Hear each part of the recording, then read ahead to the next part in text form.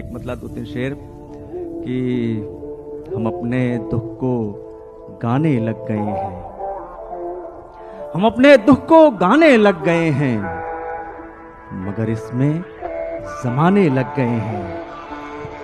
मगर इसमें जमाने लग गए हैं, किसी की तरबियत का है करिश्मा। किसी की तरबियत का है करिश्मा। यासू मुस्कुराने लग गए हैं। बहुत अच्छे वाह। यासू मुस्कुराने लग गए हैं यासू मुस्कुराने लग गए हैं। और एक नाजुक शेर की कहानी रुख बदलना चाहती है। वाह। सुने। कहानी रुख बदलना चाहती है। नए किरदार आने लग गए हैं। बहुत कहानी रुख बदलना चाहती है।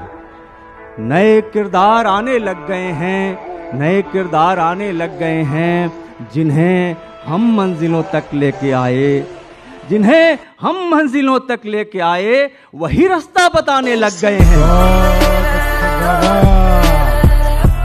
अरे वाह वाह वाह वाह।